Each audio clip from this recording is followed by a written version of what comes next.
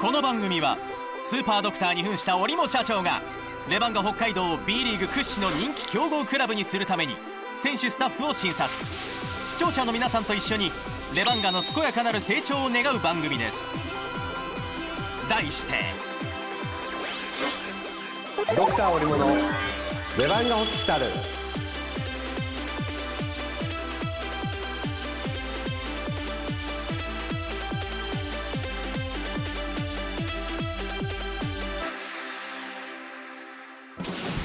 前回までのおさらい。来院者はハッピーバースデー中野司選手。25歳のお祝いからスタート。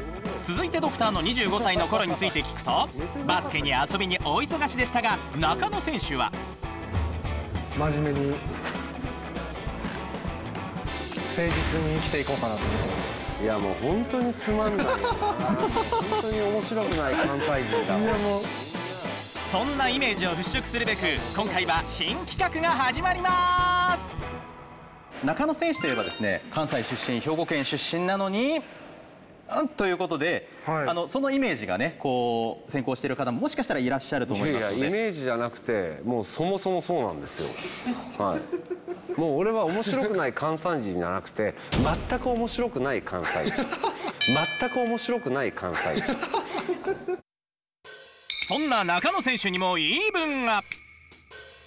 なんかでも関西にいる時よりこっちにいる時の方がやっぱ周り関西人がいないので逆に笑いに厳しいなっていうのはちょっと思いますね。じゃあ北海道にいる方がその辺りの当たりは強いですか？当たり強いですね。一番大地さんが当たり強いですけどね。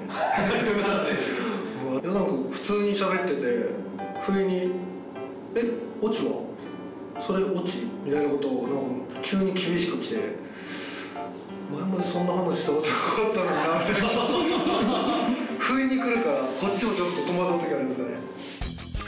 ということで今回はハードルは低くかつ新たな魅力を引き出せそうな新企画を用意しました。実は本当はどんな人なのかということでパーソナルな部分に思いっきり迫っていきたいと思います、はい。ドクター一緒にタイトルコールをお願いします、せーの。中野司の何でもベスト3はい中野選手の背番号にちなみお題は7個。それぞれベスト3を挙げていただきます。それではスタート。中野司の何でもベスト3好きな食べ物。3位がえー、しゃぶしゃぶ。第2位。2位。がアイスクリーム。1位。焼肉。何でもベスト3嫌いな食べ物。1個しかないんですよぶっちぎりでトマトです。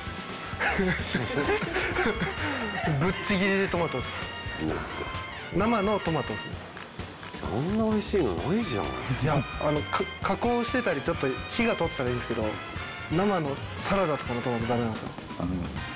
何でもベスト3仲の良いチームメイト。仲の良いチームメイト。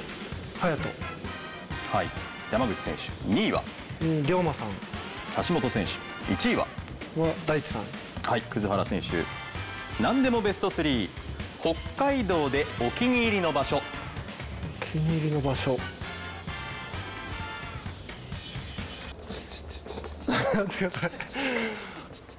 えー、ポイン飛ばしましょう。何でもベスト3ホームで見せた俺のスーパープレもうスリーポイントスリーポイントスリーポイントでいいんじゃない？そうですね。あのスリーポイントスリーポイントスリーポイントバスカン。それしかないんだ。それしかないです。ー 何でもベスト3尊敬する B リーガ尊敬する B リーガー。織茂さん。い折りも折りも折りもでいいんだ。ー3位織茂選手でいいですか？織茂さんでいいんでやすか？1位1位織茂さんです。はい。3位は？3位はそうですね琉球の岸本さん。はい。琉球岸本選手。2位は？龍馬さん。橋本龍馬選手。そして1位は？織茂さんで。分かってるな。そういうとこなんだよ。やっぱ番組で使いたいのは。そういうこと。何でもベスト3織茂ドクターにお願い。お願い。3位。えー、お気に入りのスニーカーが欲しい。2位。美味しいご飯に連れてってほしい1位。誕生日プレゼントが欲しい。買ってきてるねこれだけ早かったですね。もうくれくれくれじゃねえかよ。はいということで全部答えていただきましたのでそれぞれおさらいしていきましょうか、はい。今回のレバホスは中野選手のパーソナルに迫る新企画中野司の何でもベスト37個のキーワードから発表したベスト3はご覧の通り。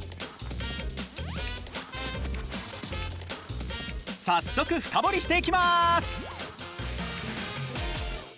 まず好きな食べ物ね。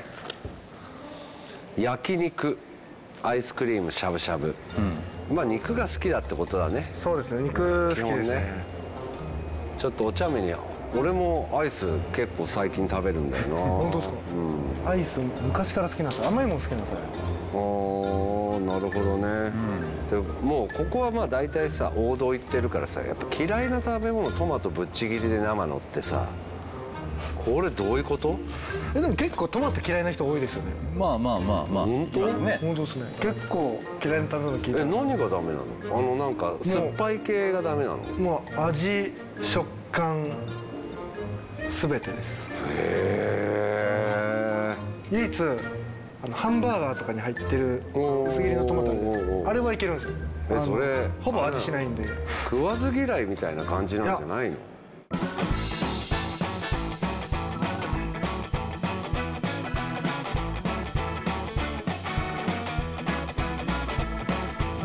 地元の友達とかが北海道来た時に「どっかいいとこないの?」って言われるんですけど「トリトン」そういうそういうことよ。